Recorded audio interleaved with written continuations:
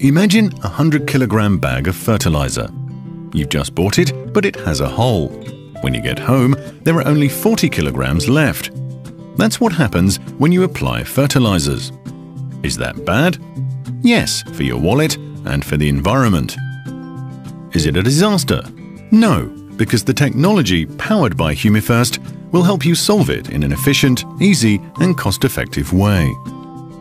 To understand how it works, we must first understand the problem. Fertilizers are effective when they feed the plant and not when they're stuck in the soil, leaching and polluting groundwater, or when they evaporate into the air. These nutrient losses can be huge. They are measured by the fertilizer use efficiency. FUE is the ratio between the amount of nutrients absorbed by the plant and the total amount applied to the soil, Loss of nitrogen efficiency may vary between 20 and 50%, and that of phosphorus between 80 and 90%.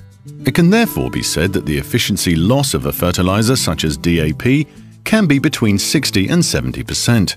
In other words, when a farmer invests in 100 kilograms of fertilizer, only 40 kilograms are useful for his crop and 60 are lost or blocked.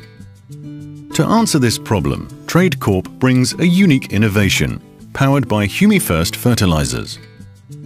How does it work? The addition of HumiFirst to conventional fertilizers involves placing the nutrients in a humus-rich environment that protects phosphorus from retrogradation and protects nitrogen from leaching. Professor Hazard from the University of Ghent has published significant benefits in the Journal of Plant Nutrition. In potatoes, the increase in absorption is spectacular.